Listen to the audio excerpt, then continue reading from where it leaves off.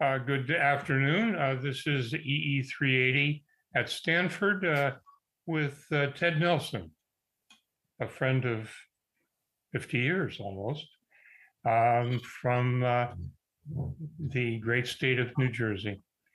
Um, he has the same decorative uh, taste that I do with the cardboard boxes across the back of the room and lots of information. Ted is a, a um, well, I don't know what he is. He's not a computer scientist, but he is a philosopher of the mind, I think. He knows how people think, and he has for years fought for computer systems which support uh, how humans think. And uh, for that, we can all thank him. Uh, he's um, one of the greats. You can't say much more than that. Hi, I'm Ted Nelson. I always start that way. I'm honored to be here at Virtual Stanford, and my thanks to Dennis Allison for inviting me. I'll talk a while and then take questions. We'll have to quit at your 5 p.m. sharp. Okay, the standard story of my life, which you'll read in Wikipedia, is that I simply coined the word hypertext, one of various words I've coined hypertext, hypermedia, transclusion, dildonics, enfilade data structure. But I just remembered that I invented hypertext, which I had forgotten. Now, it is unseemly and suspicionable to be making this claim now, but you'll forgive the irregularity of an old man's memory. this narrative involves a multi year timeline, which I'll make clear as we go along. First item on the timeline January 23rd, 1950, a cover of Time magazine, I was in eighth grade, which caricatured a computer, paren, the Mark III naval computer, wearing a naval officer's hat and eyeing a long tape. The caption was Can man build a Superman? I read the article and couldn't understand how computer processes went beyond numbers. Timeline jump to 1959 when I got out of college. When I graduated, my father offered me a career as a Hollywood actor, the whole nine yards, agent at SAG card and all. He was a director and could do that, and I now regret that I didn't take that offer. but instead, when I popped out of Swarthmore in 1959, I thought myself all too clever, able to see farther and faster than most, and I hoped to find or found some new field that hadn't been invented yet. So I went to graduate school to find out what I'd missed as an undergraduate. Timeline jumped to 1960. At Harvard in the fall of 1960, I took a computer course. I had wanted to know what the hell a computer was since that baffling cover of Time magazine in 1950. I was astounded. They had been lying. Computers were not mathematical, they were all purpose machines. They could hold text, and you could put screens on them, interactive screens. That was clear in the brochures from Digital Equipment Corporation. Interactive screens. I was a movie maker. I could see at once what that meant. I predicted in 1960 that the interactive screen would be the new home of the human race. Was I wrong? Uh, but there were only a few interactive screens in the country, and I'd never seen one. I started collecting the brochures on interactive graphic machines from digital equipment. They didn't claim to be selling computers, they called them program data processors, or PDPs. And I believe I told people in 1960 the interactive screen will be the new home of the human race. Was I wrong? But nobody could understand what I was talking about. This, I thought, was my sword in the stone, my door to greatness. I was going to be the CEO and figurehead of the personal computer revolution. I would found the field of personal computing with a company called General Creative Inc., of which I would be CEO and figurehead. In fact, I basically invent, invented the concept of Apple and Steve Jobs. But it was too early. The real Steve Jobs was only five years old, and I never found my Wozniak. Still, I plunged ahead in 1960 with my plan for Great General Creative. I would open a word processing coffee house right away in Harvard Square. My 1960 sketch for that coffee house is on the Internet Archive on the Ted Nelson upload page, as well as other notes from 1960 for General Creative. My coffee house pitch must have been great. A fellow grad student named Graham Gibbard was going to invest $10,000. But thank God I didn't take his money or go any further. I see that somebody named Graham Gibbard co authored two bo- books on group sociology. That's all I can find out. But I guess it was the same guy. So much for 1960. Then stuff happened. I got married, taught sociology at Vassar. Timeline jumped to 1965. My courses are under control, and I publish a lot of articles about hypertext, about movie editing by computer, about what would later be called CGI. I was trying to develop a CGI system I called Phantasm, along with a lot of other designs, too many other designs. So in 1965, I published papers on Phantasm, on movie editing by computer, and on hypertext. My biggest hit in 1965 was my paper on hypertext for the ACM National Conference. I believe that most of the computer scientists in the world may have been there.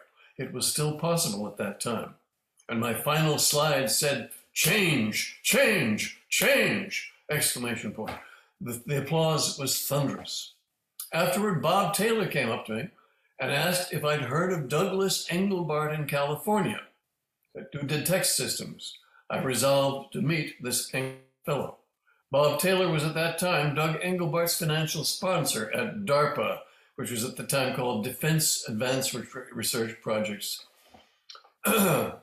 of America or something. Timeline jump to next year, 1966, and I'm assistant to the president of Harcourt Brace and World, Wild Bill Jovanovich himself.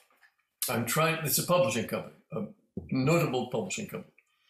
I'm assistant to I'm uh, reporting to Wild Bill Jovanovich himself. I'm trying to get him to buy a PDP graphics machine. He budgeted at $50,000 for the year.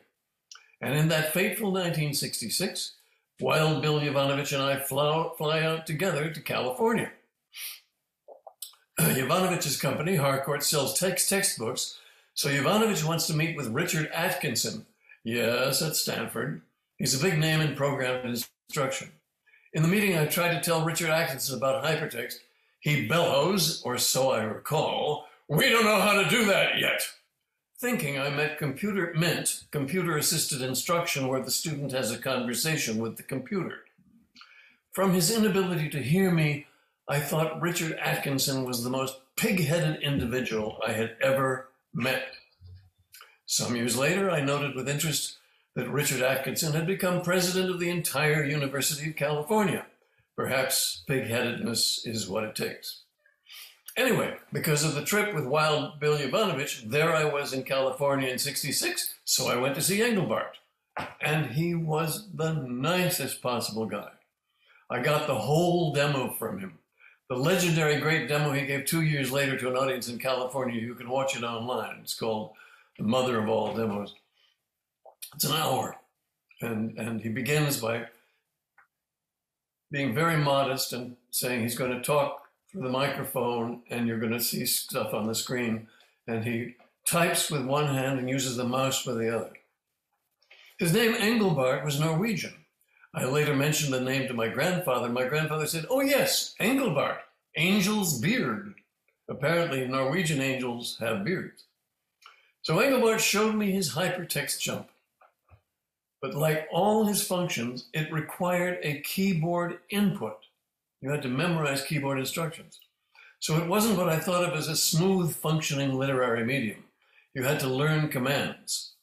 So here is the simple command list for Engelbart's system with about 20 commands. It was two-sided in the original. It's on the Internet Archive 20 commands on each page that you had to learn.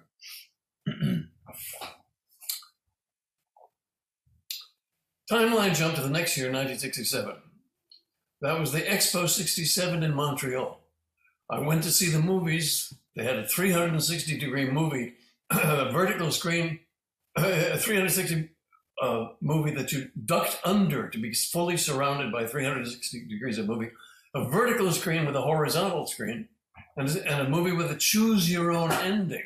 I couldn't get in, but I talked to the producer, Radúz Činčera, who explained to me that it was not a great carpet of choices as it seemed to be, but always a two way choice leading to what would turn out to be the next two way choice.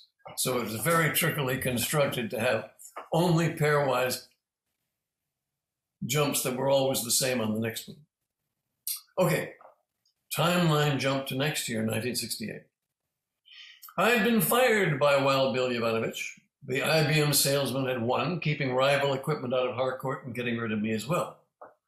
That's about when my former friend Van Dam came to our host house in Poughkeepsie and invited me, oh so warmly, to come to Brown and, quote, try out your crazy ideas, unquote. Now, Van Dam and I had been macho acquaintances at Swarthmore. While most people played frisbee with plastic discs, about 11 inch discs, frisbee had just arrived in spring of 57, I think. And so it was uh, a year and a half later that I graduated. Somehow I'd gotten hold my senior year of steel beer trays, about 18 inches in diameter, and Van Dam and I would hurl and chase them at great distances of hundreds of yards. That was the extent of our friendship, but it was cordial. So I started to commute to Brown, and for two years drove back and forth at my own expense, burning up my savings of, I think, $2,100, thinking I would get some reward or thanks where the, the, but there had been no negotiation. Let that be a lesson.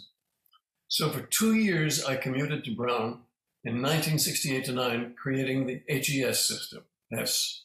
I rented cars for the purpose and I rented a room in the graduate dormitory. Van Dam was certainly no longer a friend. His cordiality turned to venom. He treated me with incredible insult and scorn, the same way he treated his lowest rank assistants or, quote, schleps I was cordial to him, but he did not return it. I invited him to dinner, no response. I've conjectured that this nasty streak was acquired in his boyhood, which I've heard was in a Japanese prison camp in the Dutch East Indies, but I can't confirm that. So I was hardworking, driving back and forth, unpaid, constantly insulted, and never thanked with even a letter. I later asked the ACM for an ethics hearing on my treatment at Brown, but by then the matter was much too far in the past. Okay, so my work at Brown in 1968 and 1969. Van Dam had the expensive, the super expensive graphic system from IBM, millions of dollars worth, unlike the low price screens from digital equipment. I worked with the main programmer, Steven Carmody. Carmody and I implemented the highlighted span of text, which, when clicked, clicked, caused a jump to another page. I'll repeat that. Here's some text on the screen. A certain part is differentiated, so it looks different and invites you to click on it. I called it a link. An author could highlight a portion of text and a reader could click on it, whereupon another page would replace it. That worked fine. Not to be upstaged by my link, Van Dam created the quote branch, a multiple choice point. That has not survived. In this project, I also invented the back button. I think it was Carmody who said, quote, users will never understand that. I said, trust me. People have asked me which back buttons I invented. All of them, I say, believing they derive from the one in HES. Okay, confirmation? I believe this whole story can be confirmed by the distinguished San Francisco attorney Terry Gross, who, as an undergraduate, was part of the team graduated with a, with a major in computer science. So that is the story. I implemented the link as we now know it. And who gets the credit? Why, of course, Tim Berners-Lee. Timeline jump to whenever. Tim is a great guy. I've argued with him at length in his home in Massachusetts. I gave his wife my Art Deco wristwatch when she admired it. Some other timeline jump, Tim and I also argued in a bar in Tokyo. Timeline jump to maybe 2019 in San Francisco at the Internet Archive. I told Tim that his main achievement, as I see it, was to unify all the different servers on the Internet with a consistent addressing scheme, the URL, despite their different operating systems, which is why a space is represented by percent 20. You don't ask me more about that. The rest would have happened if you once given the URL, hypertext would have happened. And he agreed with me. So I will stop there and take questions. In any case, uh, when you're meeting with Engelbart, did you have any uh, uh, any I insight? can't see who's speaking, by the way. Who's It's speaking? Dennis. I'm up here. Oh, it says you're muted, but apparently you're not. apparently not. Um, in any case, um, in your um, in your meeting with Engelbart, did you learn anything that was uh, really surprising for you? No. Much of it was as I had imagined. Of course, I was immediately converted to the mouse. But the uh, the the keyboard that you'd have to learn, well, uh, that that was that was a that was definitely a, a thresh a, a, hard threshold, and the many commands that were required mm-hmm. were, were, a considerable problem. Mm-hmm. So I, I showed you the I showed you the small command structure. Now here's here's here is the big one. The quick reference with about 70 commands on this page and 70 commands on that page. So Engelbart, you see, had this interesting way of putting it. He said, it's easy to learn to ride a tricycle, but you can't get far in it, get very far in it. Whereas it's harder to learn to, a to ride a bicycle, but you can get much farther on a bicycle. Mm-hmm. However, learning 170 commands or whatever the number you want to say was not like learning to ride a bicycle because once you learn to ride a bicycle, it's easy. It's got its own swoop. But those seven, those many many commands didn't have a swoop. You had to memorize them. But he imagined that this was a threshold people could be expected to navigate, and and and this this was his fundamental misunderstanding. Did you try to use the paddles and the foot paddles? as well. Yes, he had a handset which had eight eight buttons on it, but it was a chord keyboard, and you could write various things into the chord keyboard. I didn't see that. Yeah, and also there was a foot one as well, but it was less uh, less less uh, elegant. I actually have a, a, a an Engelbart key, key set with the five paddles and the uh, it's been adapted with a with a USB uh, interface. So if I want if I ever want to start learning to use it, that'd be great. Although I think it only types capital letter. right. So out there, is there anybody else who has questions, or am I the only interested person here? Okay, there are a couple questions in chat. Um, I'll read them. Do you have any ideas for a user interface for bidirectional hyperlinks other than a list of links to the page? In particular, there are some good options for making bidirectional links visible in a work written by a single person. The moderator can read this question. Well, talking about interfaces is just talk without a whiteboard and without. So the answer is yeah, sure, but we're not. But but it, it's there. There are many possibilities. Depends on what what sorts of gimmicks you're using. Are you using a mouse? Are you using a trackpad?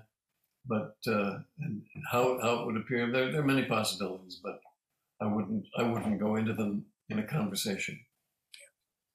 Uh, one of the other attendees says, "What would you have preferred be done differently to how the W3C implemented hypertext?"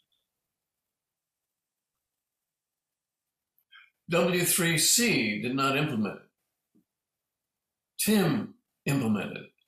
From then on, it was this juggernaut that he's riding. So uh, once once you have that juggernaut in place, all you can do is add to the mess that is HTML.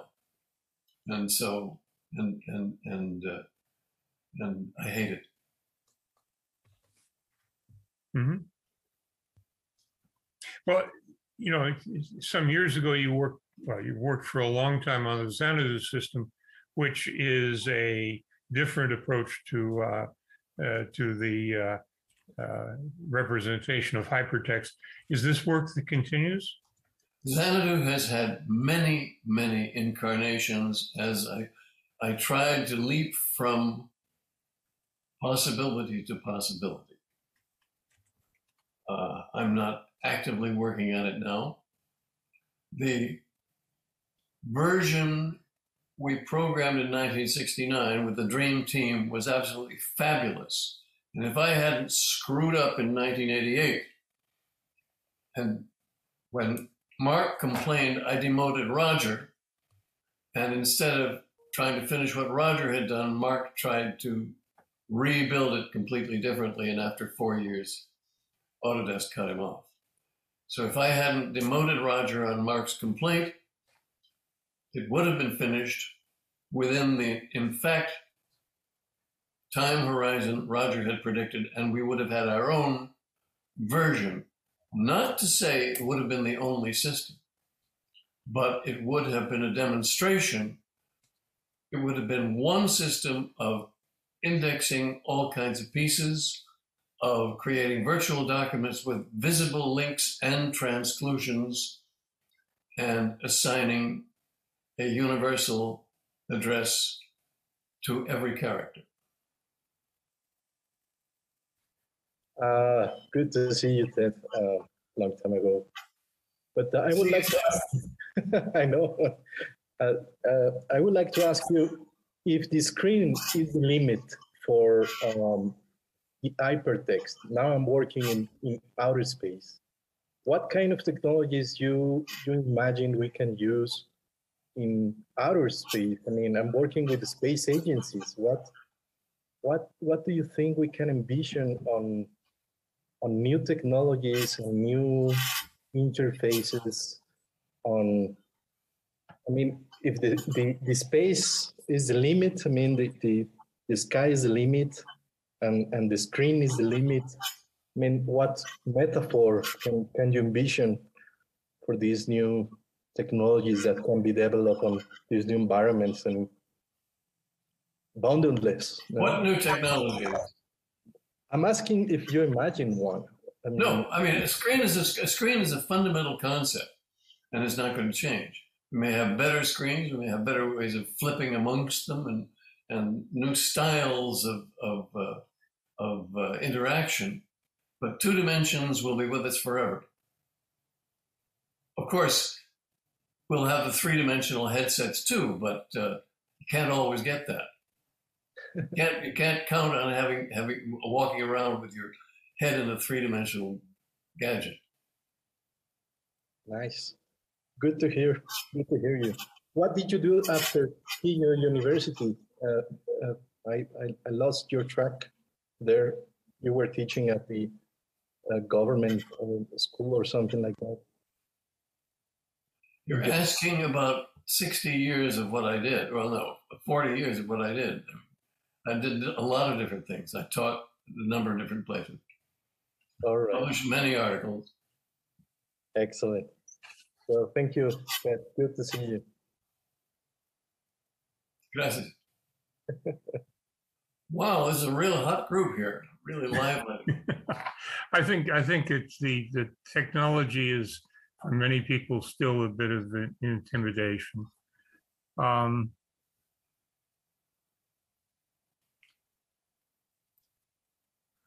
So could could you summarize kind of the advances over Engelbart's uh, system that uh, you made here? Advances I made over Engelbart's system. Oh, that that your system, yeah, that you that you made your system made over Engelbart's system. Engelbart had a cosmic system that did 150 things. Okay. Xanadu has always dealt with connected documents. So that's one small part of the 100, that's, that's two out of 150 th- things that Engelbart system did. And we had our own way of doing it, our own internals. And I, again, I'm referring to the canonical system of 1969 with the Dream Team. Yeah. Uh, uh, we had our own internals, our own addressing, our own universal addressing scheme, which was going to unite all the servers in the same way, not the same way, but much just as Tim Berners-Lee united all the servers with the URL, we were let, we were going to unite all the servers with a comparable addressing scheme.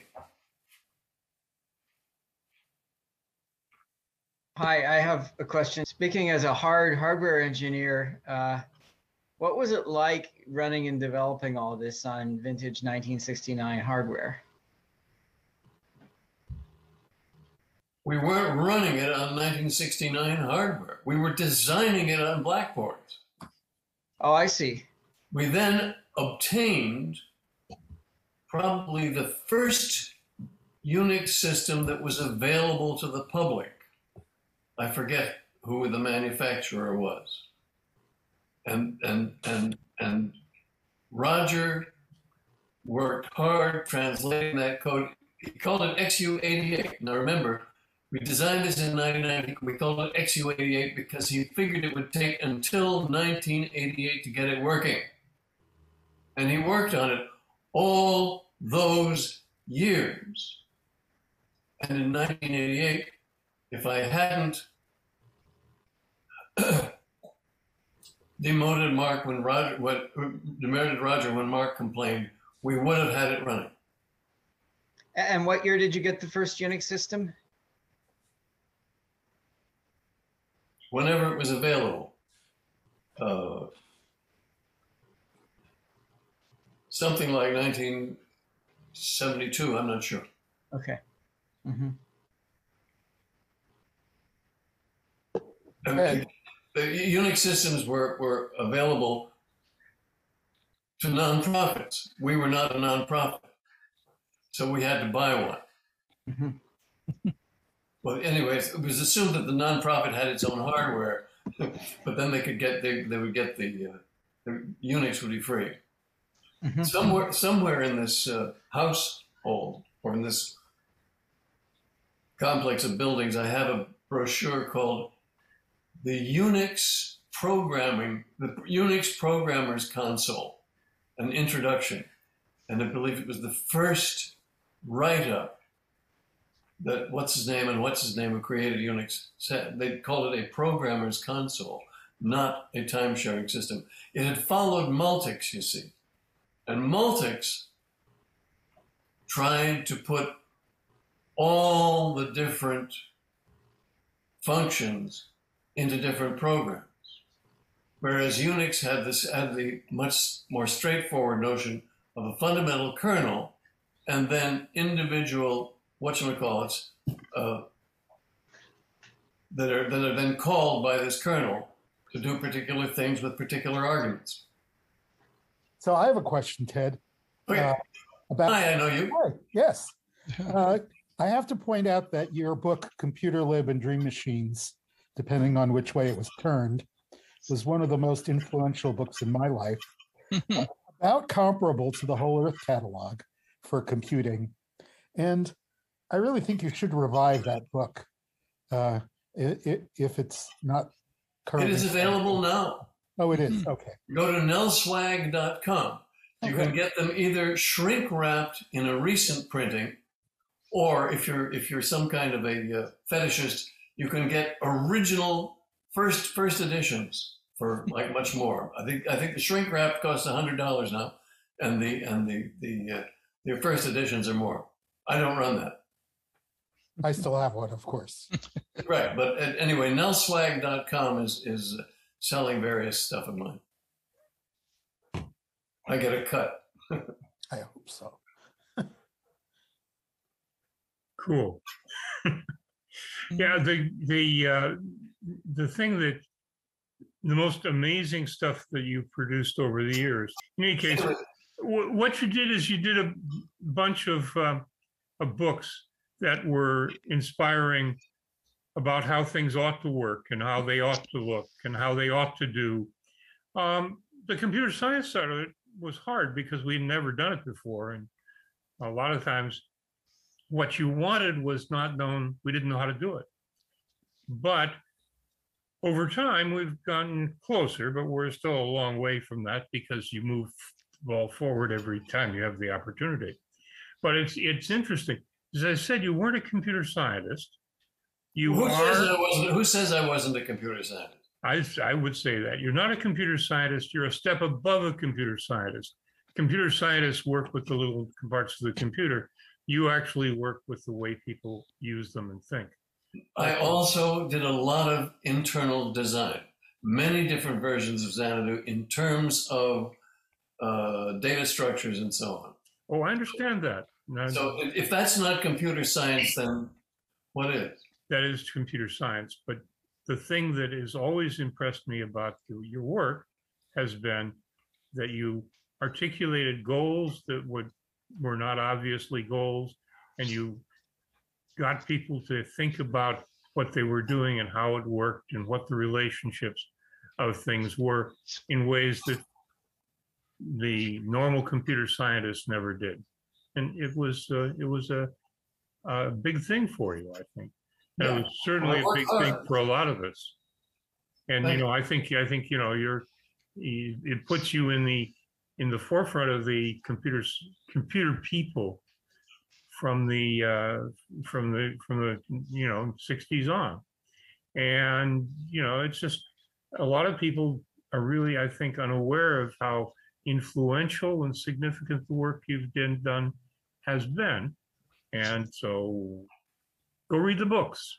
Start out with computer lib and or one of the others and but computer lib is the book that that inspired so many people when i was running people's computer company and computer lib came out it was for us a bestseller for quite a long time and um, we had to deal with the fact that it was self-published and you know the um, the supply chain was not necessarily great but it um, I was screwed by my distributors, way. Huh? I was screwed by my distributors. Sold 50,000 copies, copies didn't say CSN. Yeah, well, it's nonetheless, you inspired a generation of, of people who learned about computers and then built things with them. What was most in, what is most interesting retroactively about Computer Lib, I think, is the number of different areas and specialties that I mentioned, which were surprising to people in other specialties. Mhm. So, so it was a it was a panoramic view of a whole lot of stuff that wasn't available anywhere else. That's right. And it, it was in the same general stylistic category as the Whole Earth Catalog and a whole bunch of other documents of the time, which basically laid out technology in people's uh, kitchen table and they got to pick what they wanted to play with and what they didn't.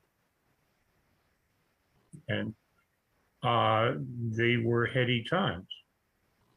And, you know, it it still strikes me as being very strange that at PCC we were able to sell computer time to fifth graders at 25 cents an hour on a basic shared system.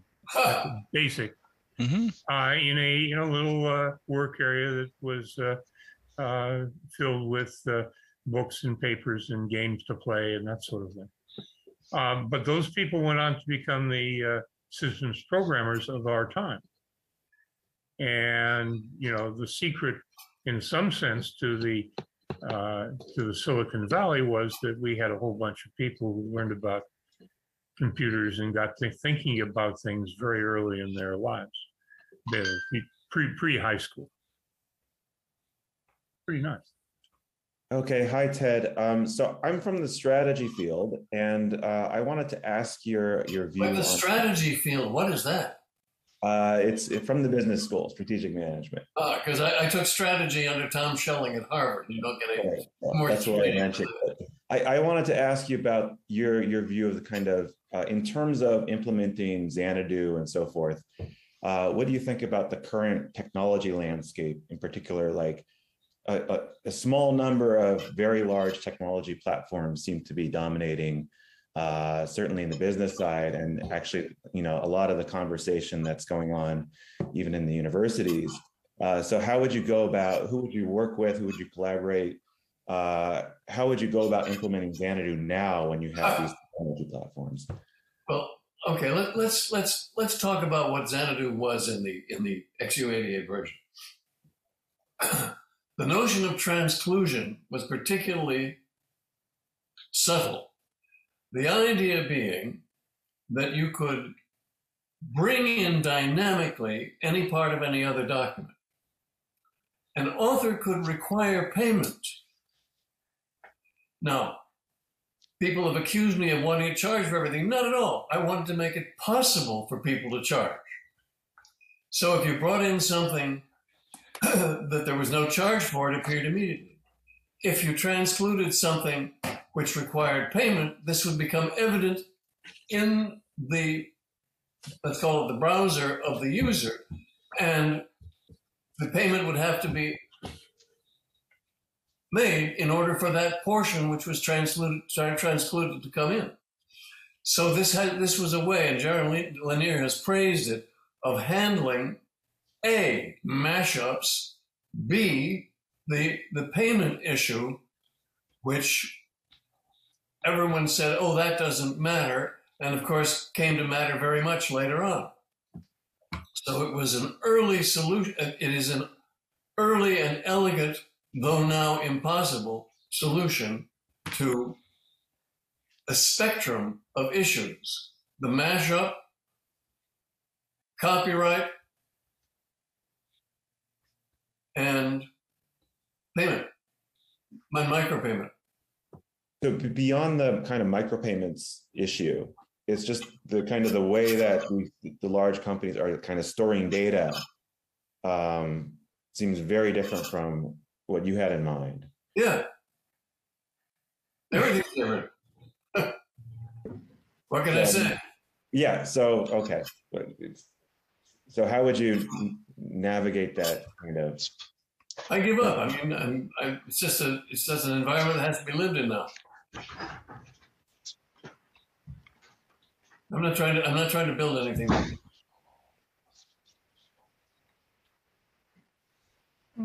So, Ted, how do you feel about the the uh, sort of aggressive capture of every piece of data you can possibly get your hands on by various organizations?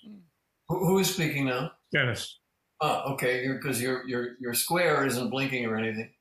Yeah, I, the thing is that I'm host as well, and Zoom treats hosts specially. Hmm. But in any case, what do you think of the, of the, of the surveillance capitalism society that we've created? Uh, is this? Uh, it's certainly not the the something you created with your model of how the world works, but it certainly has model of warlords of what? how the world works. Oh, oh, but but it has certainly had an impact on uh, on uh, on our society and how we how things get dealt with. Um, is you're, what am I supposed to say? There it is. Yeah. yeah. No, I'm just wondering whether you had any thoughts as to what we might do. No. Just try to survive in this mess. I think. Okay. Other questions, folks? Uh, I'll jump in for a second. Hi, Ted. Nice to see you. Have, have we met? We've met uh, a number of times Okay. over the years. Um, I think the last time that we saw each other was uh, in the Gate Five parking lot. Hmm. Uh, so, uh, and and then there was a. I, I think when we first met, I had lent you a uh, a, a Umatic video uh, machine for one of your demos or something. Anyway, right. We we we we met like in '88 or '89 or something. And Oh. I met Roger in Palo Alto, and you know saw you at Autodesk a number of times, and um, so I, I why I think to this question or you know this this uh, this issue of the surveillance state you you devised a this is maybe more of a commentary than a question. We'll find a question maybe. But you had a very uh, democratized uh, model that was very of the time. And that was um and and and, and you're right. I mean it's just been co-opted. It's just that's so not where the world is right now. But the the the quality of foreshadowing that you brought i'm just sort of ganging up with dennis's comments. I see you as the direct descendant of vannevar bush. You you're really the second in line uh, uh, to that I Uh, called him up in Cal in in uh, in uh, Cambridge once, and I, I said I was interested in working on his ideas, but but he sounded like an athletic coach, so that turned me off, and I didn't call him again. Yeah, perhaps so. None- Nonetheless, uh, intellectually, conceptually, you're, you're of that lineage. Right. And I very much see that the, that the transclusion mechanism, it was really a, a, a log of links. Uh, and, and sort of. a- No, the mechanism was was not of links; it was uh, portions to be brought in dynamically. But those portions were, the history of those portions were captured, yes. The ownership of the portions were captured, not necessarily the history.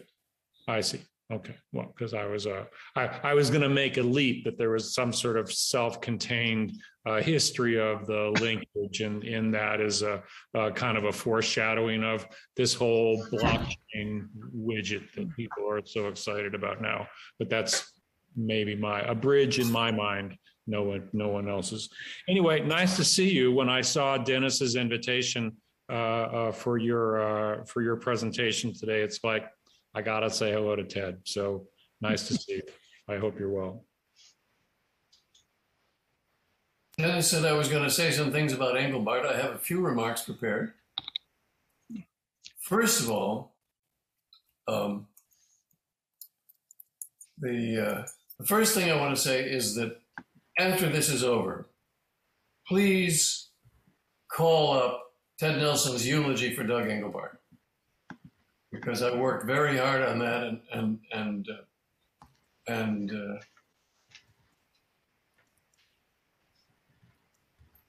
it tells all too truly what was important about Doug's life and work and how how betrayed he felt and for much of his work. So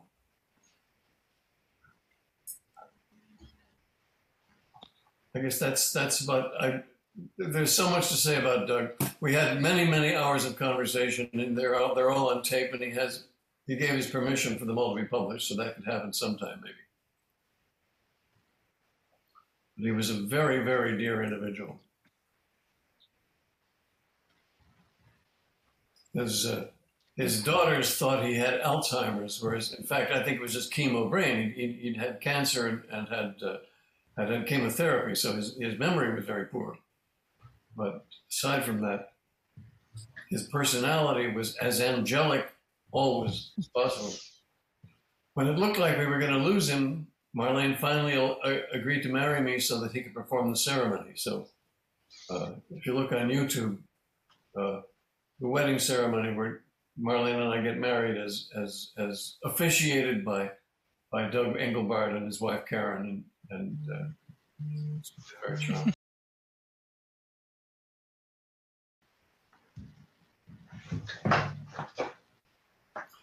Doug had an interesting anecdote, which was that Doug told me that he was hired by uh, by Hewlett at Hewlett Packard, personally hired by Hewlett, and uh, and he said, uh, "Oh, but I want to work with computers." And Hewlett said, "Oh, I'm sorry, Hewlett Packard will never have anything to do with computers."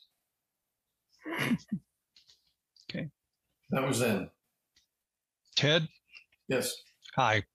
I can step in for a second. The All American boy. The All American boy, boy, you're dating yourself, but we're dated both. Um, I was at the AI lab in uh, SRI at the time all of this was going on. And uh,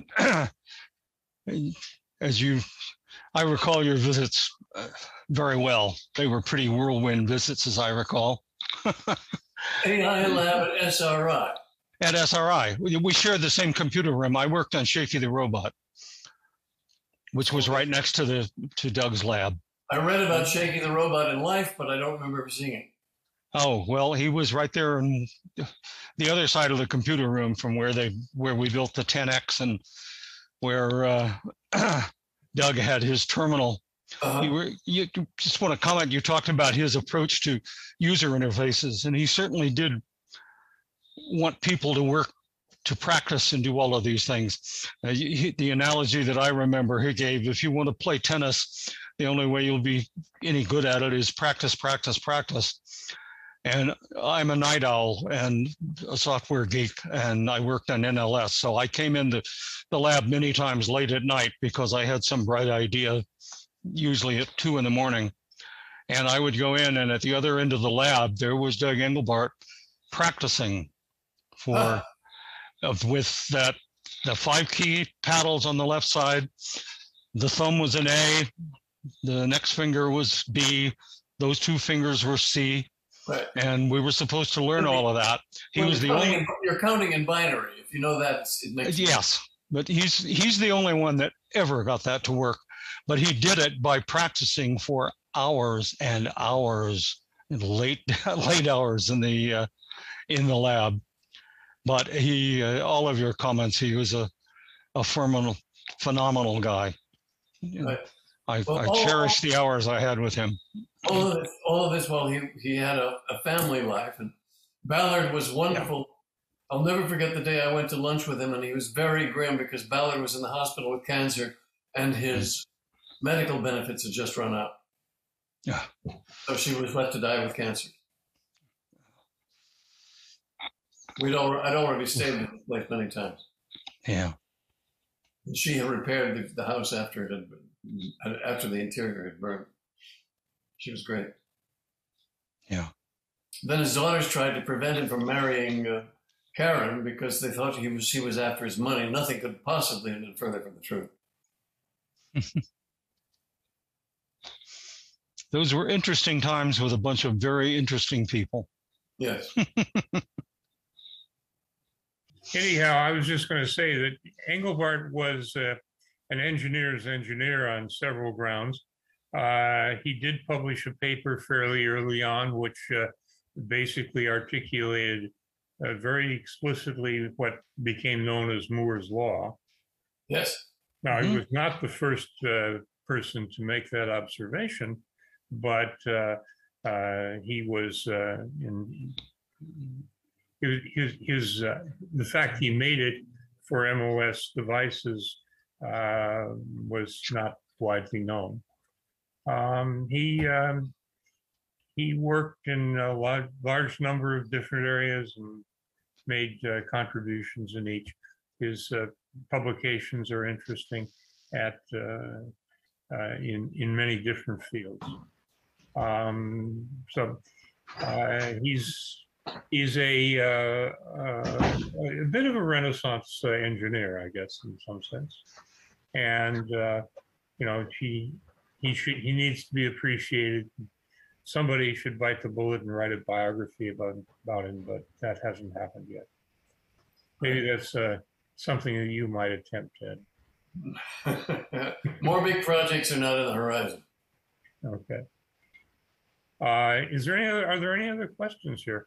He, he, he, he was Norwegian Jewish, which is interesting. The Engelbart, uh, the Engelbart side. Really? Yeah, I'm sort of a student. uh, It's, it's, I'm sort of a student of wonderful failed software projects, and Xanadu is up there as one of my best examples. With the transputer, maybe? Oh, the transputer, uh, the IBM FS project, w- which had you know a thousand programmers working on it, but you know I understand why why systems with a thousand programmers could fail, but somehow I'm having trouble understanding why a system that is is supposedly conceptually simpler than something Engelbart was doing, fewer commands, fewer concepts. Maybe it had a lot of, you know, certainly um, micropayments is not easy to implement, but um, you know, why aside from Roger and Mark uh, not getting along or not working well together, why did that project drag on for so long and then eventually it, it Well, was it, decided to have failed? the it, it it was owned by Autodesk, and the name was owned by Autodesk. So after after Roger's system, after after I demoted Roger, instead of Mark trying to finish what Roger had started, he began all over again using a hyper an, an extremely intricate system for automatic uh, version management devised by Eric Drexler called the ENT, which is very hard to find documented. And so Mark was programming simultaneously in Smalltalk and then transferring the Smalltalk to C while he was implementing the Ent. And he did this for four years until the web took over and Autodesk killed the project.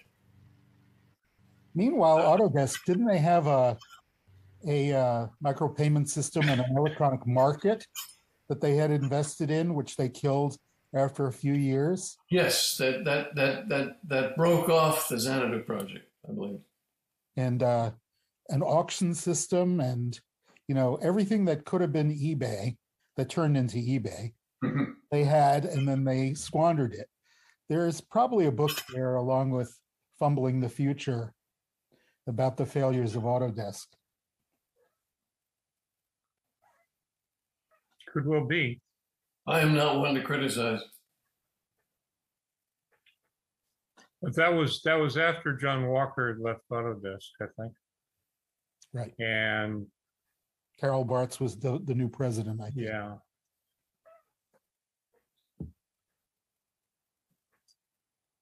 I think that I wouldn't say that Xanadu uh, was a failed project.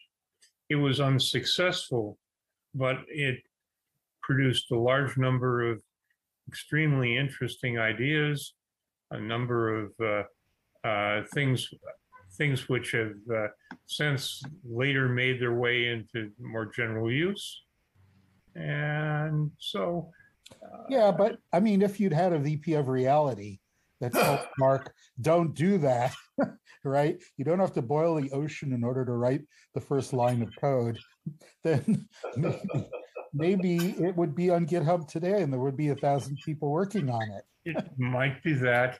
But I think also the, the other thing, Mark, is that that the Xanadu project uh, really did differ from from the Augment project. The Augment project had lots of little pieces that fit together, whereas the Xanadu project had lots of pieces of data that were supposed to fit together dynamically. Yes, it was. It was that's a. a much more difficult problem. Well, there was another difference, which is Augment had a real customer, which was the DARPA Network Information Center. All of those documents that Jake Feinler edited were written on NLS, as far as I can tell. Mhm. And so they So did Jake? Did Jake know all those commands, or enough to edit the documents? I guess. I think there was a base, you know, set of commands that you needed in order to compose documents. And, you know, you didn't need to know all of the all of the 80 or 100 commands more than C system, more than Unix system calls, I think. Mhm. By the way, I said I have to get off at five, but I don't have to get it off till my next appointment arrives, and that could be another hour. So Uh, Ted, Liz, again, uh, uh, what what happened i- is zigzag you were working on the last time. Oh yes, I'm very proud of that. Uh, it's stalled. I'm I'm not proud of my behavior toward my collaborators. I betrayed them, and I feel very ashamed of that because I said my patent would would would would forbid its being distributed in the United States, and that was really stupid of me. In any case, it works best on Windows XP. So if you, you, you can watch it on YouTube and you can then buy a used Windows XP system on eBay on which to run it.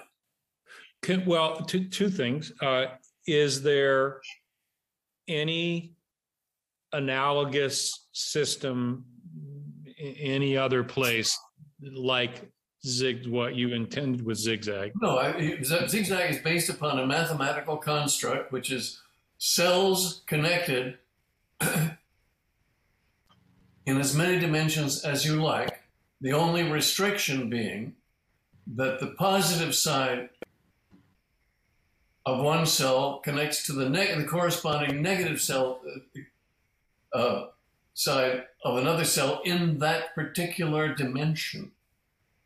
So you can tie up in knots or create, you could create a regular spreadsheet with it if you wanted. But if you look at the zigzag movies on YouTube, you see some extremely interesting things done by, uh, especially by Adam Moore. So uh, a multi-dimensional uh, graph is. uh, Yes.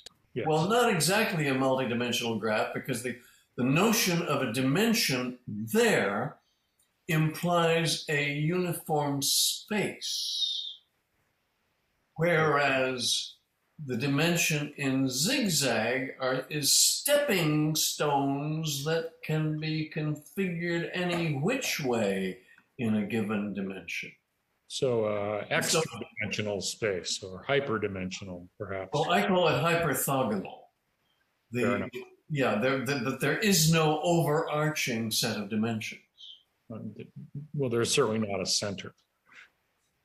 There's not a center and there's not a space, except un- unless you unless you call the construction of cells a space. Would the user be considered the center? One would well, that's that's a that's a, you're playing with words there.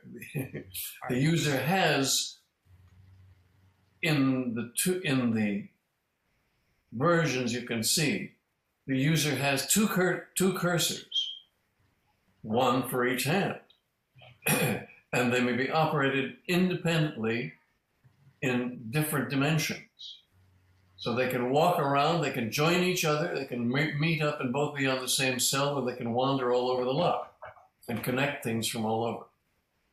It's it's it's truly a fascinating and amazing space. I just wish that uh, Is, is there something that could be resurrected from it? it exists. It doesn't need to be re- re- resurrected. You can download it from xanadu.com slash zigzag and run it on a, on a uh, Windows XP machine with, of course, the appropriate Java. There's a link in the chat which will get you there. Yep. Thank you. Okay. So I have one small question. Good. It better be small because my next appointment is just arriving. When do you want to do this again? Will you uh, be interested in chatting about this? I think that just talking about the the past history and your perceptions uh, is very interesting, and perhaps we can do it again another time. Well, that, would- that I think that's a nice idea. Okay, cool. But I think about it. Yeah. Okay, well, we'll we'll, we'll negotiate. Thank you very much, Ted. Okay, Thank you, everybody. everybody, for participating. And uh, uh, with this, we'll close. Thank you. Bye bye.